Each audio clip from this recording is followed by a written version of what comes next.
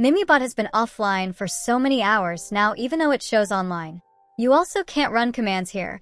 It says application did not respond. So, what's happening here?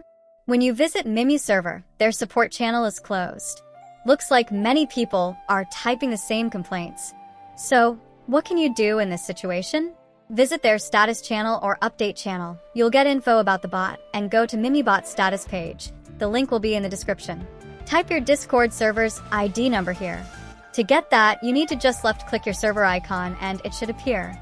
If it isn't there, Go to User Settings, then Advanced, and Enable Developer Mode. Now copy your server ID and paste it in that box. It will tell you in which cluster your server is in. Mine is in 629. Now I'll find the cluster 629, but for you, you'll find your cluster whatever number they show. You will find the status there. Anyway, this is also a bit wrong since the bot is not working. But don't worry, I think the best way would be to join Mimu server and check the status there. Things like this happen. I'll leave the link of Mimu server in my video's description. The developers and Iera are working hard, so just wait. They will get it fixed.